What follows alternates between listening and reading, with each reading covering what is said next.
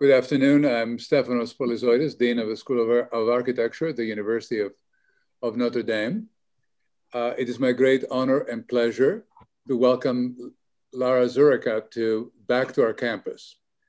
Um, it is uh, midnight in uh, Jordan, I believe, so she's uh, brave to have stayed up this long to, to address us tonight. She is a, a distinguished architect um, in Amman, Jordan, and a graduate, a graduate of our school, a fact we are terribly proud of.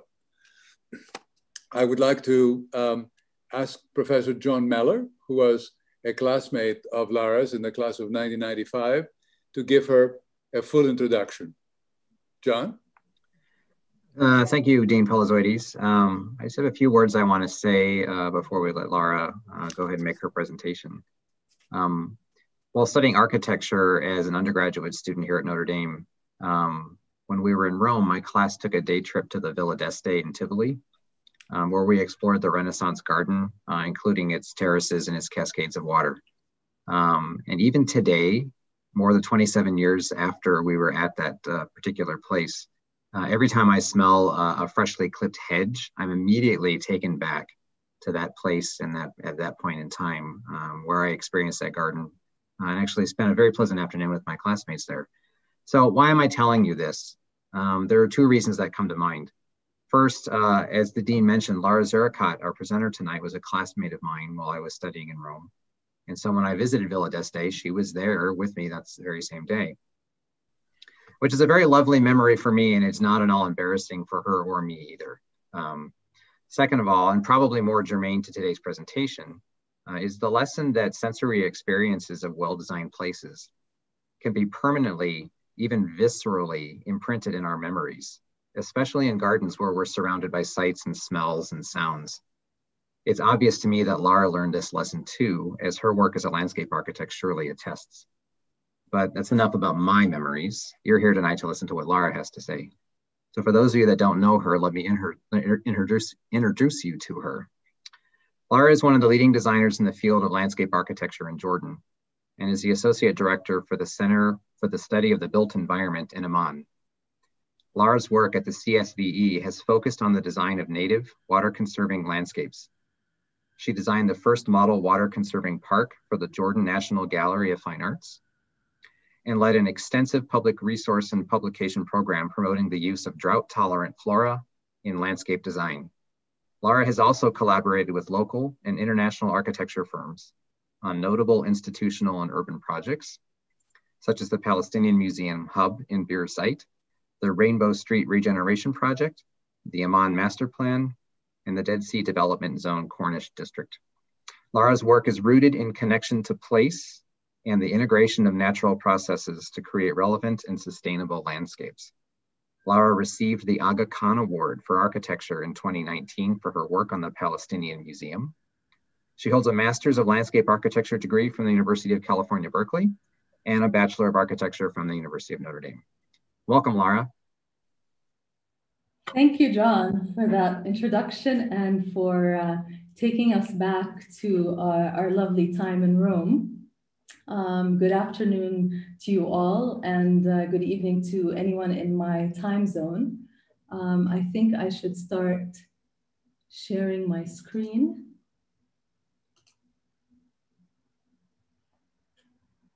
Can everyone see it? Yes, we can see it. So um, it's truly a pleasure and a privilege to be invited to speak to uh, the students and the faculty at, at my alma mater. It was uh, 25 years ago uh, that John and I were both students here. Uh, and we spent many, many nights uh, grinding Sumi ink and uh, stapling watercolor paper. Um, and made lifelong friendships and of course learned formative skills that have served me well over the years. Um, and it was here at Notre Dame that I took a landscape seminar class uh, that changed the course of my career into uh, landscape architecture. Um, the opportunity to speak here has been uh, conducive to reflection. Uh, and this reflection is compounded uh, uh, by um, during this time when all our lives and um, our routines have been disruptive, uh, disrupted by the pandemic um, in an unprecedented manner and uh, on a global scale. So my heart goes out to the students and the faculty having to deal with these disruptions. Um, I thought I would uh, speak to you today about what I've found rewarding uh, and inspiring on both a intellectual and emotional level, and what I'm passionate about and what has given me a sense of purpose. So uh, I find this quote by Louis Kahn uh, has resonance at this particular time. It makes me think about um, uh, what we select, what affinities we have, uh, what elements we choose to integrate, and what do we love. And I'd like to structure the talk around themes or approaches that I've been exploring through design work and applied research. Uh, I've tried to distill uh, what I've been pursuing um, and selected one notable project, the Palestinian Museum, and other smaller exp explorations uh, around certain themes that end up um, informing the larger body of work. So uh, these themes uh, or recurring uh, themes or explorations are cultural expression and placemaking, addressing the perennial landscape, inhabiting different habitats, public outreach, uh, education, and community engagement. But before I get into the details uh, of the various themes, I'd like to share with you a little information about the landscape context in Jordan. Um, as you can see, there's a diversity of landscapes ranging from uh, pine and oak forests to arid landscapes such as the deserts of Wadi Ram and Wadi Araba and uh, perennial watercourses such as uh, Wadi Mujib. And incidentally, um, films like Aladdin, one of the Star Wars, and The Martian were filmed in the desert of Wadi Ram, which is um, this landscape here.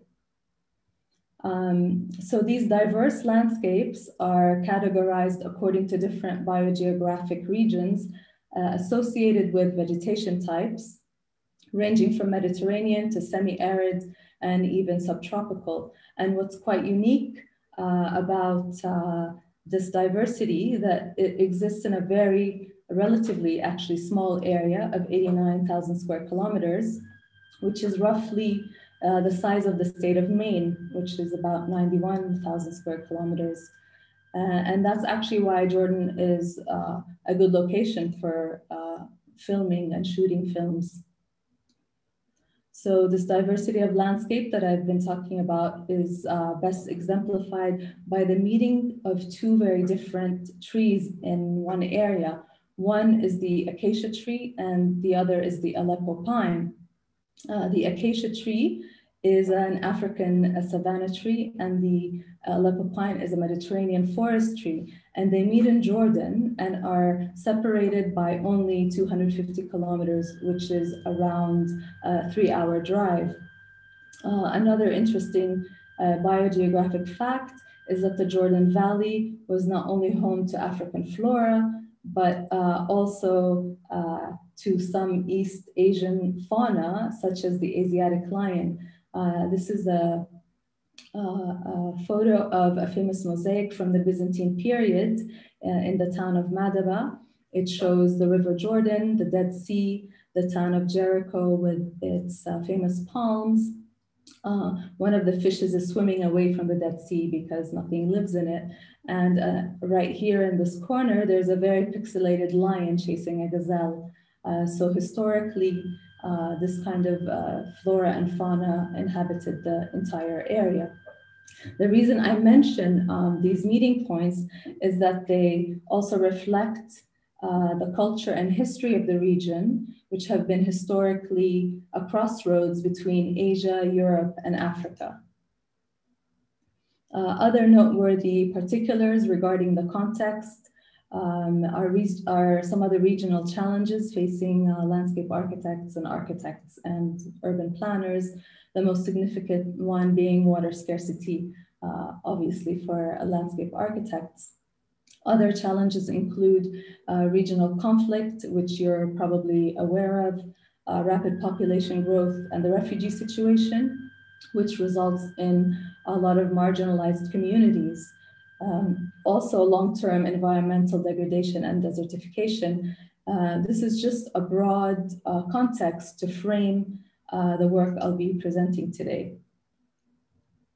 You uh, might be wondering why cultural expression uh, is so central to a lot of design in the region. Uh, most countries in the Middle East have only recently emerged from colonial domination. Jordan, for example, gained its independence in 1946, which is shortly after my own father was born. So we are still living with the aftermath of colonialism and resulting uh, the resulting uh, Palestinian-Israeli conflict uh, that is uh, characterized by uh, struggle for recognition and independent identity.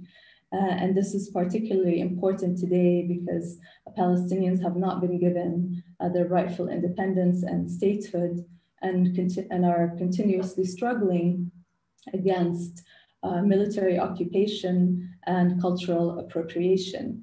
To add to that, uh, widespread globalization poses a threat to um, culture and uh, local culture and craftsmanship. Uh, this is just a backdrop for the first project which I'll be presenting, which is the Palestinian Museum. Uh, so the Palestinian Museum is the flagship project of the Ta'awun or Welfare Association, which is a non-governmental development organization set up by Palestinian philanthropists. Uh, it's located in the town of Birzeit uh, on the Birzeit University campus.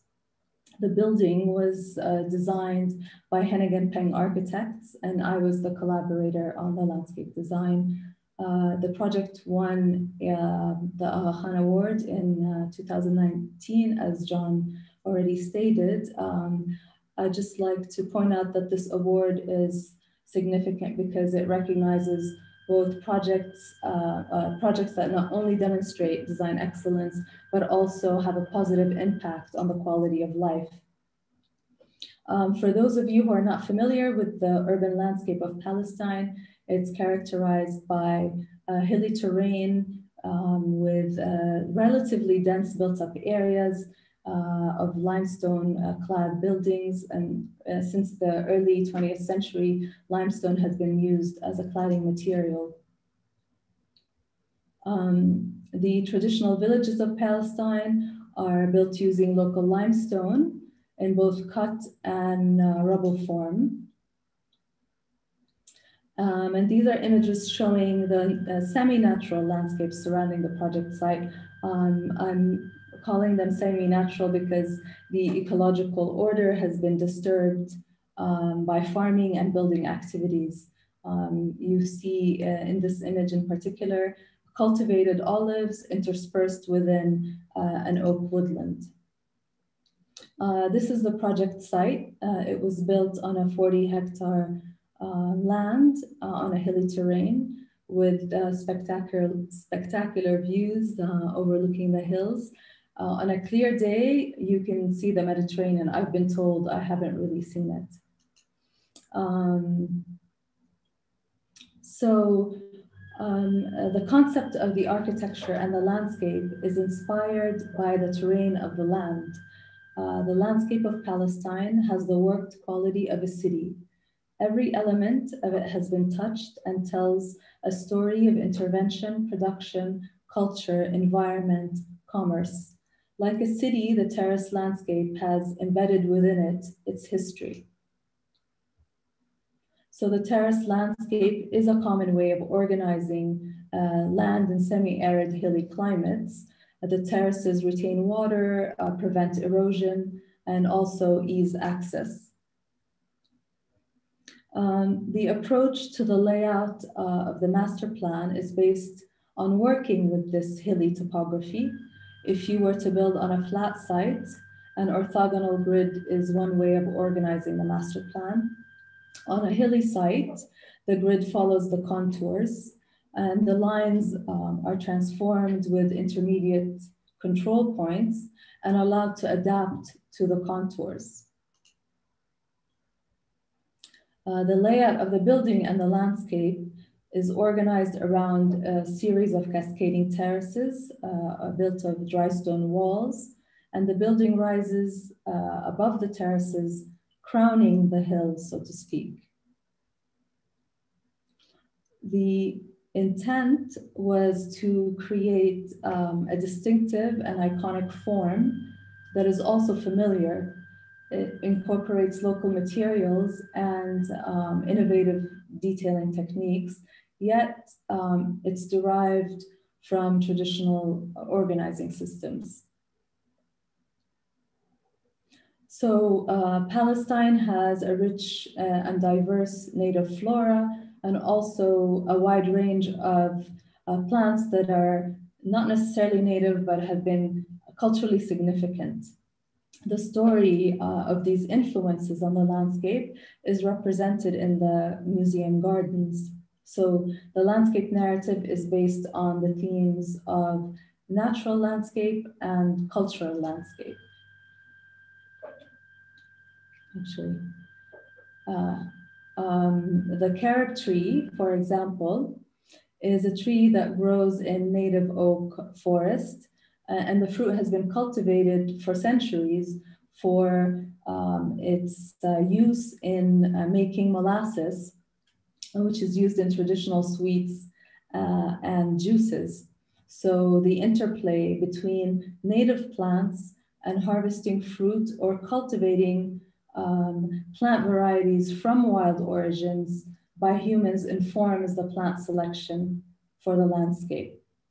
And um, during the design process, uh, I drew upon my own experiences with our landscape, as well as uh, ethnographic research uh, and interviews with elder relatives and acquaintances who grew up um, on farms where they were much more connected to the land. And this is something that sadly is not common today in my generation and the younger one. Uh, the narrative also emphasizes the connection uh, of people to the land through these familiar crops uh, that are basic ingredients in traditional foods. The chickpea, for example, is the main ingredient in hummus and falafel. The area is known for olive, uh, pressed olives, olive oil, and olive oil soap. Uh, a variety of plants like um, pomegranates, peach, uh, figs, and uh, apricots are used in making different uh, juices and used in a lot of traditional desserts. This image shows the geometry of the terraces. Uh, the geometry is further tweaked to show uh, similar uh, faceting, uh, similar to the roof. So the terraces go up and down and respond to the different level changes uh, of the tweaked contours.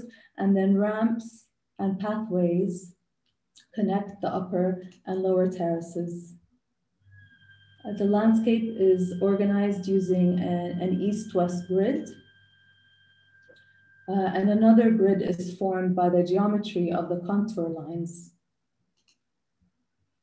Uh, so the trees, which are the main structural element of the landscape, uh, they're the bones of the landscape, so to speak, are laid out uh, at the intersection of these two grids. Um, deciduous and evergreen trees alternate across the terraces uh, to show the grid system uh, also in the winter month when in the winter months when some of the plants are not in leaf. Uh, the shrubs and understory plants also follow the same geometry. The landscape narrative of the cultural, from the cultural to the natural that I mentioned before is uh, also revealed as you go down uh, the terraces. The dry stone walls on the upper terraces are more precise in their construction and they become more raw towards uh, the lower terracing. So the journey into the garden starts at the cafe terrace, which has panoramic views to the hills beyond, um, carob hedges, a shelter uh, from exposure to windy conditions, which uh, are typical of these uh, hilltop sites. As you progress down the pathways, you are surrounded by mass plantings of rosemary, lavender, rock rose, which is a combination of both domesticated garden plants and plants of wild origin. Uh, the pathways are uh, in close proximity to the planted terraces and the plants almost spill over the paving so that their aroma is released uh, by the footsteps of passerbys. Scent or aroma is a central aspect of the plant selection because it's connected to memory. Many people may not recognize certain types of plants, but they often recall scents that remind them of home uh, or their childhood.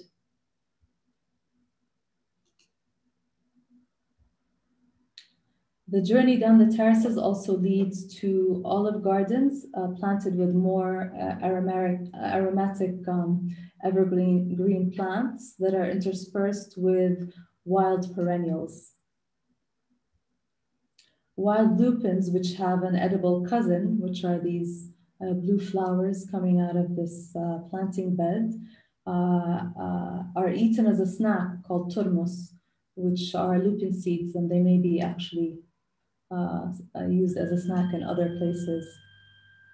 And uh, while we're on the topic of perennials, seasonal interest was another key consideration in the planting design. The terrace planting was planned to include uh, fruits, flowers, and seeds to be harvested throughout the year. And the museum actually makes its own olive oil and other products that are harvested from the gardens. These are more views along uh, the aromatic walk which is lined with plants like oregano, mint, and scented geranium. Uh, these herbs are used in uh, traditional cooking and teas and uh, for medicinal purposes, but they're not necessarily appreciated for their physical beauty. Um, some of the plants are so, so common that people don't expect to even see them in a museum garden. And in, in that way, they're planted, but in the way that they're um, planted in masses, it draws attention to them and elevates their status in a way. Uh, I call this basically um, landscaping with uh, uh, herbal teas. Uh, the lower terraces are planted with olive and pomegranate trees with an understory of rain-fed crops such as wheat and chickpea. Rain-fed agriculture has a long history in the region uh, uh, with water scarcity. And uh, wheat and chickpea are staple crops that are grown or have grown in the area since um, the Neolithic, Neolithic revolution or the invention of agriculture um, in the area around um, 12,000 years ago. Uh, so basically this is uh, your pantry coming to life uh, in the garden. More views of the pomegranate and wheat understory. Uh, there are key highlights along the route within the terraces, uh, and they include artworks uh, and theme gardens.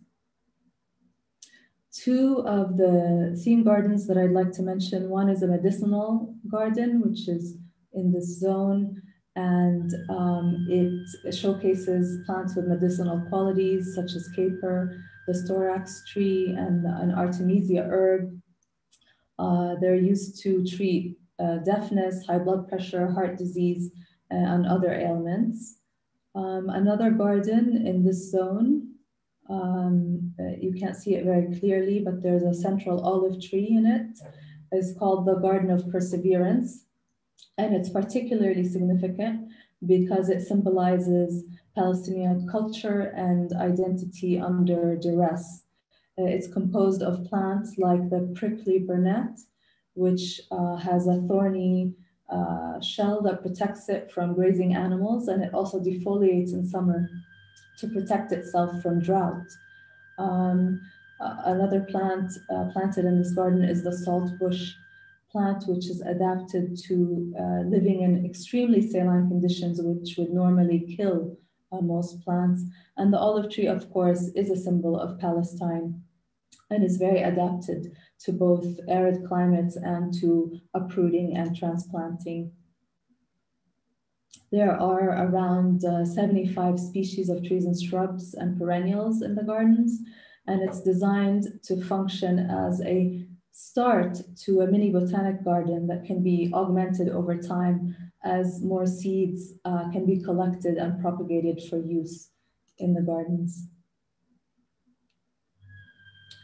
To support all of this uh, vegetation, uh, water is used very wisely in the building. Uh, it's collected from roofs and hard surfaces and stored in underwater tanks. Um, uh, the water that's collected is about 9,200 cubic meters, uh, which is actually very large compared to most projects or any project really. Um, conserving water is central to the entire scheme for both environmental and political reasons as uh, Palestinian territories have little control over their water resources and they can be cut off uh, at any time and uh, suddenly. 60% of the site is also of uh, permeable materials. Um, there's a swale that runs around uh, the site and collects water uh, from the paved surfaces and into the underground water reservoirs. And then the overflow is diverted into the natural valley for groundwater recharge. The irrigation strategy also combines uh, areas where regular irrigation is needed and where less irrigation is needed. And over time, the rain-fed and native areas will require less and less irrigation to, uh, at one point, no irrigation in the future. Um, this is another project that addresses the sense of place and draws also inspiration from the cultural landscape. It's a destination hotel in Al Ula, which is a Nabatean city uh, uh, called uh, Mada'in al Salih in Saudi Arabia. Uh, this is a collaboration with uh, Wendell Burnette, Burnette Architects um, from Phoenix, Arizona. And uh, Wendell is someone who has been building in the desert for uh, many years and has a very profound understanding of it. It's located uh, outside of a UNESCO uh, protected zone and nestled around uh, these natural rock formations. Uh, the building is also nestled in the ground plane uh, in a very unobtrusive manner uh, as to not um, obstruct any of the rocks or site views.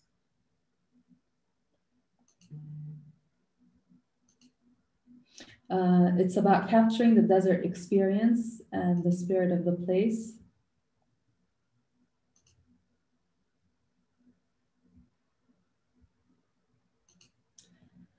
Um, so um, also in this project, there's an exploration of the interplay between the natural landscape and the cultivated one. Uh, the area is noted for its Nabatean archaeological remains and uh, its palm and citrus plantations. So there's a stark contrast between the desert landscape and uh, the lush oases of palms and citrus that are fed by groundwater. In addition to the tradition of um, date farming and citrus farming, the archaeological remains are uh, from the Nabatean period are best known for their demonstration of uh, skillful water technologies. For many uh, cultures in water scarce regions uh, throughout the Arabian Peninsula, the manipulation of water was not only a strategic survival necessity, uh, but it also developed into a, a sophisticated art form.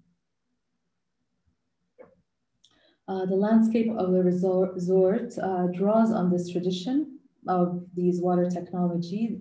Uh, this is a plan showing um, the different types of water systems. There's a mother well, which is kind of figuratively where uh, the water originates near the spa in the hotel. And it's channeled through a series of overground and underground channels into reflecting pools. Um, and uh, canals. This is a view of the mother well. Um, uh, to save water, here also uh, water reuse strategies are used um, using treated water uh, that uh, comes out as gray water from the users of the resort, uh, which we are calling raw water. Uh, where and, and so where the raw water is used for irrigation and fresh water is used for reflecting pools and ornamental channels. And this is done to uh, try to lessen the impact on the underground aquifers, which are key to the survival of uh, this oasis community. Uh, different varieties of citrus trees are common in the region and are planted in both public and uh, private spaces. So there's a stark contrast between uh, the desert landscape that the uh, users experience and uh, the lush oases within the pathways in the resort. Um, so this brings me to the theme of the perennial landscape and, and by perennial landscape, I mean one that is recurring or renewed uh, and visibly so between green, uh, brown, and yellow. This image uh, illustrates um, this idea where uh, vegetation in our area is uh, very lush in the spring and the rainy season with uh, lush greens and color. Uh, and in the summer and the fall, it turns into brown and yellow. Even the water courses in some areas are perennial, so they disappear after the rainy season in summer and spring. Because green landscapes are so fleeting and viewed as unattainable, green really captures the imagination of people. And there's a kind of cultural idealization of green. This is a snapshot of a survey uh, that I conducted uh, 10 years ago as part of the work uh, we do at the Research Center and I'll talk a little bit more about that later in the presentation. But to make a long story short, people love green. Green is equivalent to uh, gold. So this has been a professional challenge for me because I'm drawn to landscapes that are more in tune with their bioclimatic zone. So there are many messy yellow fields everywhere for half of the year. Uh, and within these ubiquitous fields that turn yellow and brown, there are plants that are overlooked and underappreciated. Um, so these are exploratory, what I call exploratory vignettes uh, that zoom in uh, on what appears to be a derelict field, uh, but up close it contains intricate patterns of airborne seeds, uh, delicate uh, uh, flower shapes, and colorful thistles. These are patterns that were printed, inspired by these um, lesser known plants on uh, paper and fabric for a design exhibition that was held in Amman. This is a milk thistle. Uh, this is the wild oat. And this is the globe thistle. Um, this I'd like to show is another uh, collaborative project that I did with a photographer. Um, it celebrates the subtlety of uh, the desert landscape. It, it, was shot around the Dead Sea uh, in the Jordan Valley. Uh, we walked around with a, with a giant mirror and shot beams of light uh, onto overlooked uh, elements of the landscape that are quite beautiful. So we highlighted colors, patterns, and uh, vistas. Uh, the exploration aimed at highlighting the subtleties of uh, these landscapes by mere and keen observation. So hopefully um, through this experience, uh, the, uh, the, the, the viewer emerges more informed and receptive to recognizing uh, subtle beauty of the desert landscape. Um, so these vignettes, sometimes they do translate into uh, design and built form. Uh, at the Palestinian Museum, for example, uh, there are parts of the landscape that change with the seasons and turn from green and colorful flowers to yellow and brown. Um, another view of, this is another view of the uh, landscape showing a harvested field and what it looks like after uh, the crops have been harvested. To me, this is much more dynamic, a much more dynamic landscape and in tune with the natural world around it. Inhabiting habitats, this might seem a bit maybe cryptic to some of you, but uh, the central question to me is how to build landscapes that inhabit habitats. Uh, and by habitat, I mean uh, the natural home of plants and animals and other organisms. Um, uh, I think about uh, uh, sort of what citizens these landscapes are, what sort of citizens they are. Um, building ecologically sensitive uh, landscapes are, is, a, is a challenging endeavor um, sometimes due to the lack of resources, because it's a very, landscape architecture is a very young profession here. There's only a handful of people practicing it. There isn't really a huge body of work to, um, to uh, think about. Um, and the resources and materials uh, on the plant supply um, uh, aspect are also lacking. So this is always a quest in progress that I explore in various residential gardens that are uh, uh, located in Oak Forest in Amman. This is a, uh, an oak woodland uh, in the city, and most of the oak woodlands in the city are quite degraded uh, due to urban expansion and overgrazing, to uh, name a few threats. Um, so the residential projects I've worked on uh, in these habitats are focused on the restoration of oak woodlands in a garden setting. And this is a collaboration with a local architect called uh, Sahel Hiyari Architects, uh, an exterior view showing the house and its surrounding landscape. And you'll notice that this photo is taken in uh, summer and uh, or early fall where the landscape uh, starts to turn yellow and brown uh, a very, very different view on the inside uh, with blending of the uh, existing oaks with wild roses and mock oranges. Uh, the short tree under the cantilever is actually a, a, planted tree, not an existing one, and you can really only tell from the size of it. Um, here, um, I explored the type of companion planting you would choose in terms of wildlife value, uh, year-round interest, and uh, drought-tolerant adaptations, uh, combining both native and adapted plants.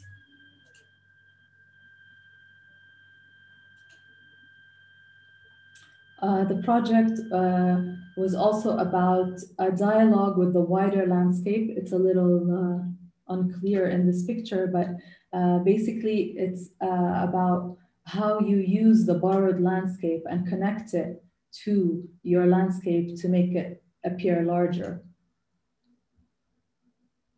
More uh, borrowed views and echoing of the forms of the hills beyond with the planting in the foreground. Uh, and this garden was actually finished before the interior of the house, uh, which remained, the, the site remained somewhat of a semi-construction site. So literally the day after it was planted, I remember seeing hummingbirds and butterflies land on uh, a native hibiscus shrub. And a successful garden for me is one that engages with animals uh, that we share uh, the planet with. Uh, so uh, like our constructions become part of a lar larger habitat or local ecology. And those things are really hard to capture actually in photos. Um, this is another residential project that's done in collaboration with the same architect, Sahel Hiyari. It's on a very hilly site, uh, also in an oak habitat. The house uh, nestles into the contours uh, and does not protrude much about uh, the, the hill line. Here you can see the cut in the hill and how the house uh, nestles into it. Again, the use of open block paving, uh, dissolving hard surfaces and edges, uh, and mitigating uh, other uh, and otherwise harsh space used for parking and maneuvering. This is another view of the area. Also, this project engages with a dialogue of um, the uh, surrounding landscape or the wider landscape beyond.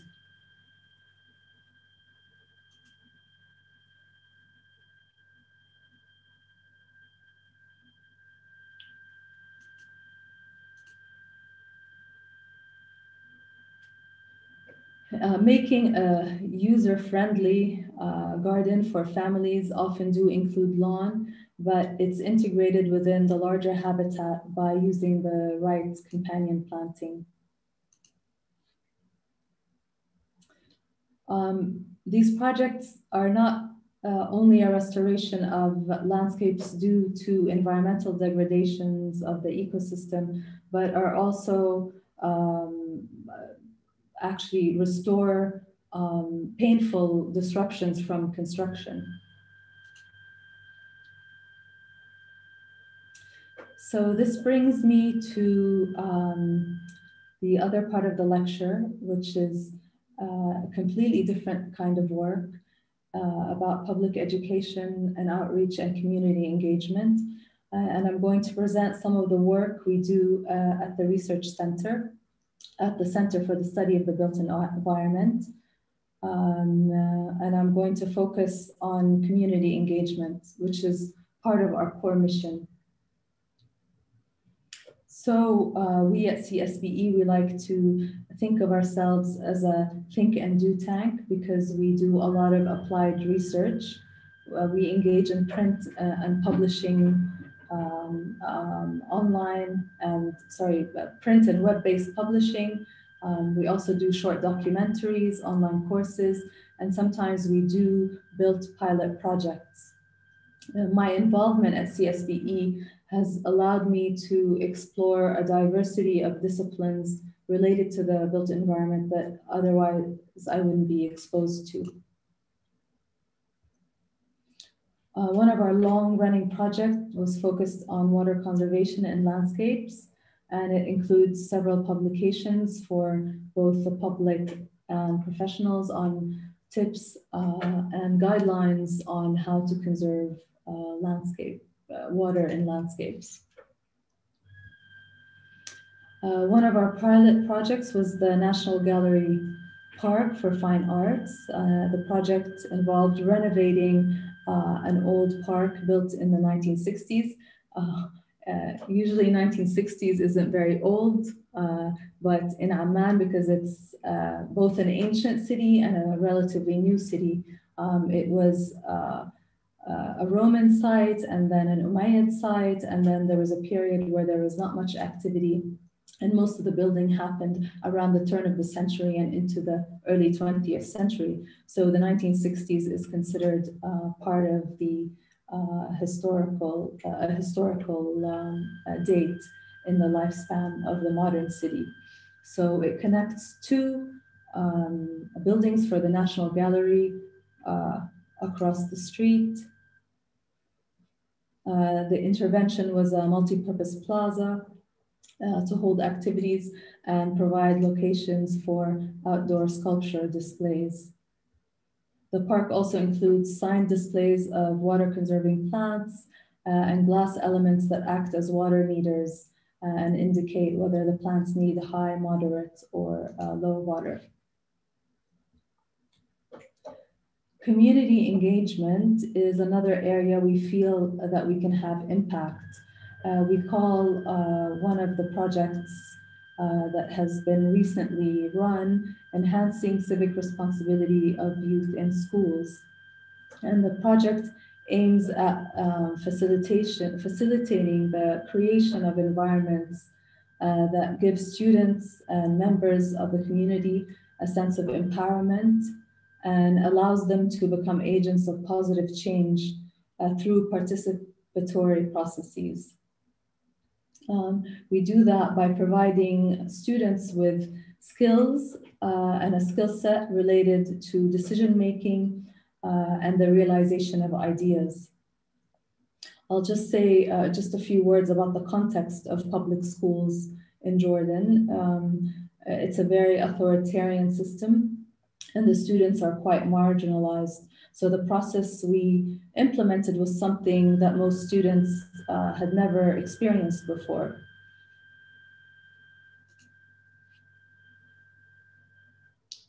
Um, in the pilot project, we worked with eight public schools uh, and worked with classes um, uh, between uh, 8th and 10th grade students. We start by doing a general survey and interview with students that pinpoint how they would like to improve uh, their school grounds. We engage them in mental mapping exercises uh, and drawing mental, mental maps uh, in addition to interviews, usually provides us with, with information that we wouldn't get verbally. This uh, drawing, for example, by one of the students has these um, colorful, which appear to be rocks, but they are actually uh, drawings uh, that represent litter in the school. And so this particular student was bothered by the littering issue at his school. Uh, we teach uh, basic skills. Uh, we ask, uh, we uh, hold an activity with the students where they draw their own classroom by counting tiles and uh, marking them on graph paper.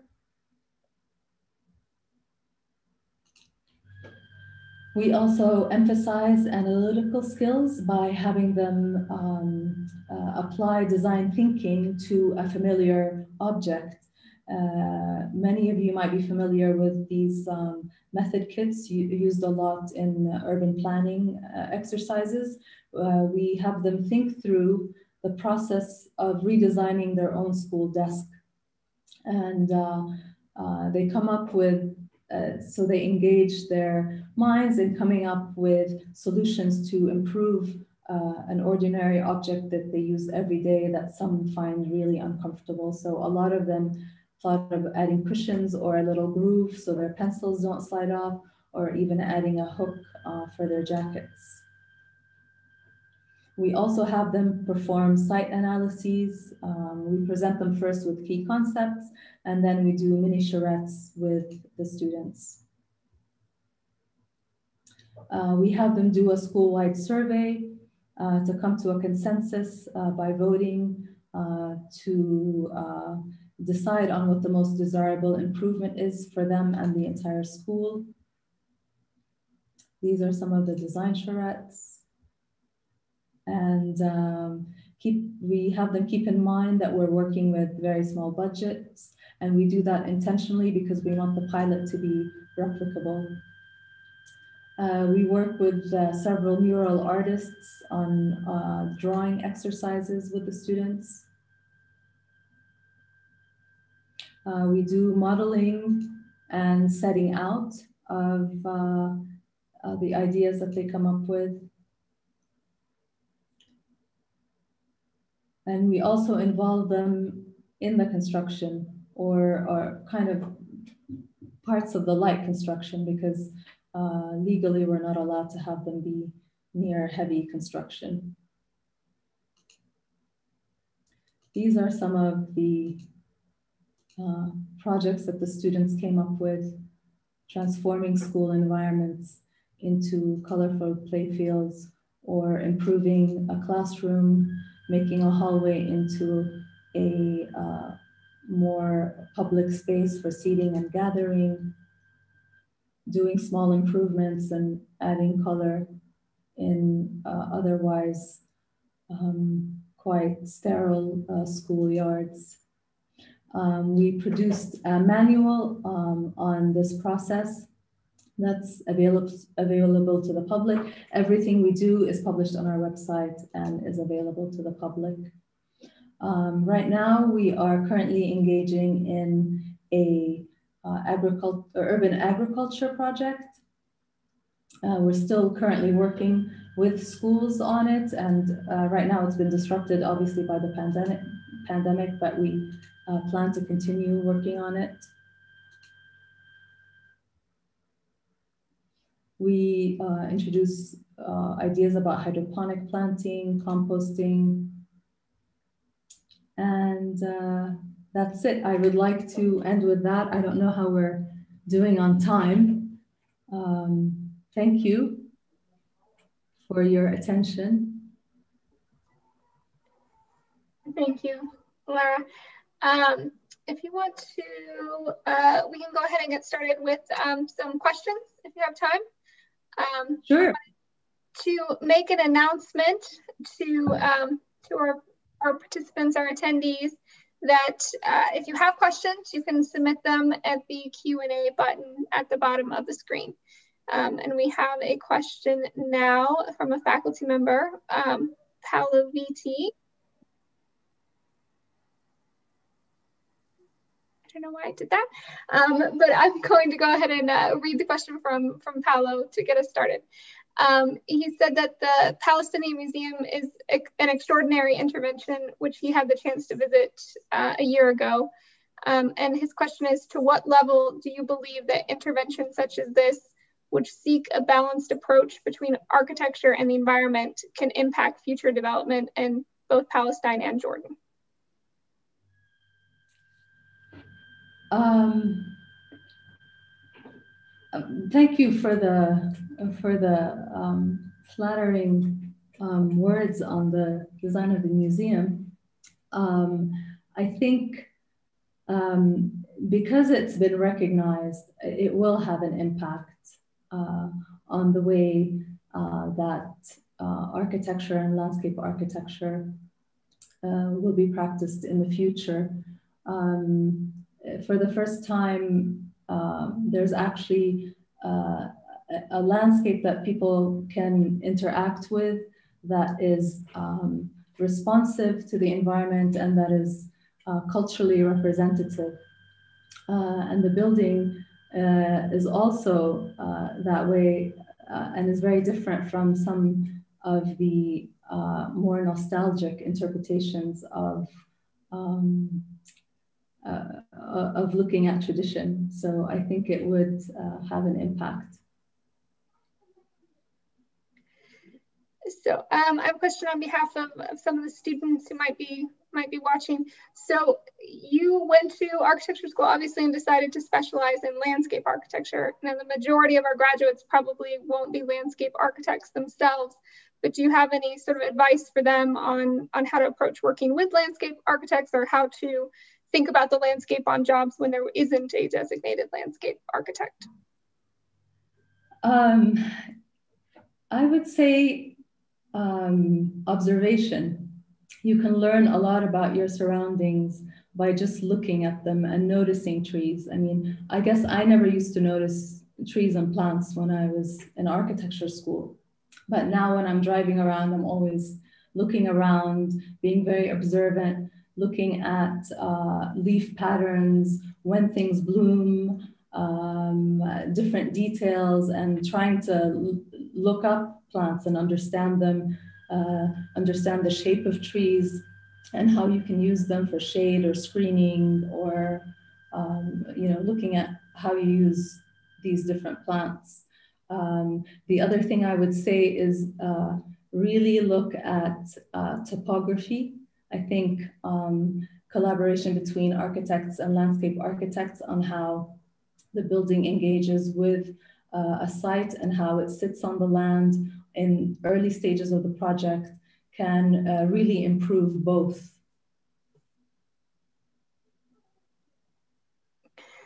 Um, we have a question now from, from a student. Um, I'm gonna try to see if, Mary, can you ask your question out loud? Yes. Um, so I, alongside many of my classmates, obviously are um, enamored with traditional architecture. Um, but you mentioned that sometimes that turns into nostalgia when looking at historic architecture. Um, do you have any advice for breaking out of that mindset?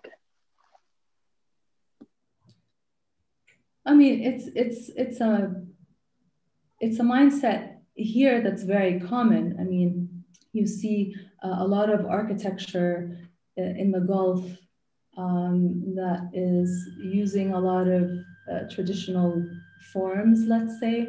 And I think when those forms are actually accompanied by the right craftsmanship, uh, they tend to be uh, more appropriate than ones that are uh, um, uh, paying lip service really to the uh, to, to, the reference or uh, to the precedent.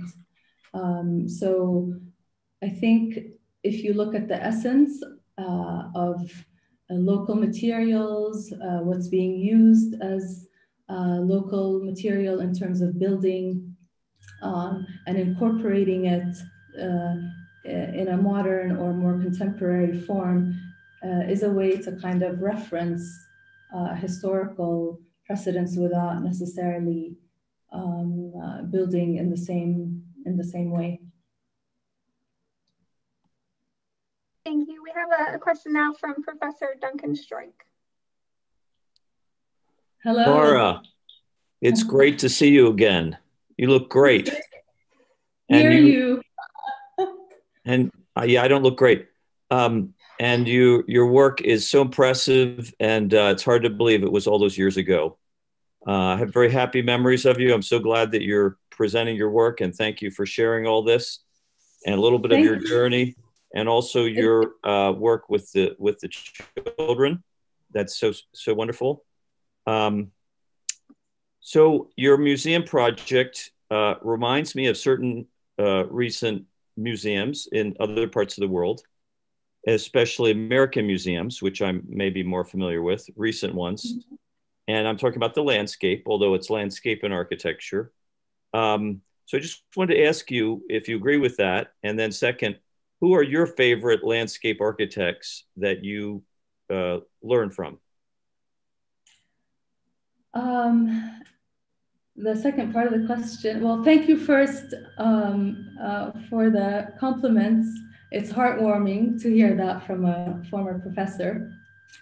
Um, in terms of the landscape architects that I uh, look to, um, one that comes to mind is Roberto Burle Marx, um, a Brazilian landscape architect that was uh, really the father of uh, the modernist uh, landscape movement in Brazil. He was very much uh, in tune with the, the local and native flora and integrated it and actually uh, formed a sort of Brazilian style of, of landscape architecture. Um, other uh, practitioners um, whose work I look to are um, uh, West 8 um, from the Netherlands um, and Kathryn Gustafson, who's a contemporary landscape architect who I feel has a very uh, sensitive approach to uh, landscape architecture. Thank you. Great answers. Uh, we have just a, a, couple of questions. I know it's very late for you, Laura, so we won't keep you too long. Um, but we have a question from uh, another student who's asked asked me to verbalize the question for her. Um, Sam uh, is wondering if there are any Notre Dame School of Architecture experiences or lessons um, that became especially interesting or obvious during your study um, or during your practice? Is there anything uniquely about your Notre Dame experience that influenced your career? Um, obviously, for everybody, uh, it's the Rome program. I think uh, it's central to your education um, of uh, understanding cities and urbanism and what makes good urbanism and experiencing that firsthand uh, that's crucial for eh, for anybody, whether you're in landscape architecture, uh, urban design, or architecture. Uh, the other is actually uh, the, the classical architecture skills that we learned. Um, they can be applied really to anything, proportion, uh, um, looking at a partie, designing, um, you know, understanding how uh, space and plans uh, can be laid out with uh, symmetries and asymmetries, and even looking at the details of the orders and um, uh, proportional systems, uh, golden ratios, all of that. I think these are universal um, uh, design tools that can be applied at any time. Thank you. Um, we have uh, a question from an alum, um, Jose Barbosa, uh, who commented that you have magnificent work, and he wanted to know if you would consider the use of landscaping to produce food in areas where hunger is a critical problem. Uh, definitely. I think that's why now urban agriculture has uh, been a focus for us because um, agriculture is uh, transforming in uh, very technologically uh, advanced ways where uh, a lot of plants are grown without soil, hydroponically, aeroponically, using aquaponics and fish and nutrients. Uh, uh, vertical farming is uh, another thing where artificial light and, and plants are grown within buildings. Um, that will transform the way we do agriculture and may even uh, save uh, lands from being degraded from agricultural practices. Um, agriculture can be uh, done even in industrial areas when we're talking about this uh, vertical technological way of farming. So that I think would go a long way in uh, countries where resources are scarce or, uh, or water is or lands are not available even and where there's significant hunger. Thank you. Um, we're going to have one last question um, from Tom Rajkovich, another alum. Um, Tom, if you're able to unmute, you can ask the question yourself. But I don't see that he is, so I will go ahead and, and read his question as well. Um, he said, congratulations on your beautiful work. Um, and he was questioning if you had ever been called upon to collaborate on the development of urban design projects and the integration of plant and water elements in urban placemaking, um, such as squares, promenades, and streetscapes. Nice to hear from you, Tom. um, I, um, I, have worked um, with the city of Amman on um, some urban design projects. Um, uh, during a, a, phase in the history of the city where they were doing uh, a new master plan and a vision for 2030, 10 years from now. Um, and uh, we did a lot of work on um, looking at uh, streets and plazas downtown and how to upgrade those. Um, we did uh, a lot of work on the ideas of shared streets and reducing automobile traffic and making the city more pedestrian. Uh, we looked at transportation networks and how um, bus rapid transit systems or uh, undergrounds can, can also uh, facilitate transportation and reduce uh, the use of the car. Uh, the city of Amman is very reliant on uh, automobiles because it was you know, developed mostly in the modern period. So it was planned around it. A lot of the zoning laws and setbacks and, and all of these uh, contribute to it being, I mean, it's not like Houston or anything like that. It's, it's on a much smaller scale, but it is automobile dependent and some of the, a lot of the urban design work that needs to be done in the city and needs to address uh, that issue. So that was the end of my questions, unless um, Stefanos, you or John have anything uh, to add as we wrap up. You're muted, Stefanos. John first, perhaps. Uh, Laura, it's great to see you again. What a fantastic presentation. I was fascinated by your work and uh, um, I, uh, I know that you and I are going to actually get to meet again after this meeting here and have another extended conversation. So that'll be fun to do. I'm just just happy to see my classmates again. It was just it's it's exciting for me being 25 years out and missing my actually we missed our class reunion this year because of COVID. So uh, so I'm very happy that Laura was able to do this for us this year. So thank you, Laura. It's great to see you and look forward to speaking with you more. On behalf of the school, Laura, I want to thank you for this marvelous uh, lecture and for your work as a whole, for your body of work uh, it is inspiring in reminding us really how much we have to look at nature itself as a source of beauty and sustenance and hope in our in our struggle to to secure a future for our planet, which seems to be at some uh, trouble right now.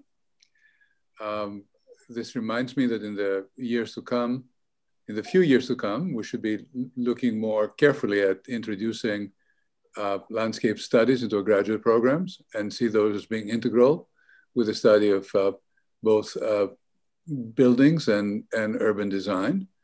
And uh, for that, we'd love to stay in touch with us, and as we will with you, I promise you. And we hope to see you very soon again in, in South Bend. Thank, thank you for you. being here, and thank you for staying up until 1.30 in the morning. It's a pleasure. Uh, thanks for thank the invitation and for your kind words. And I look forward to staying in touch with you. Take care. Bye-bye.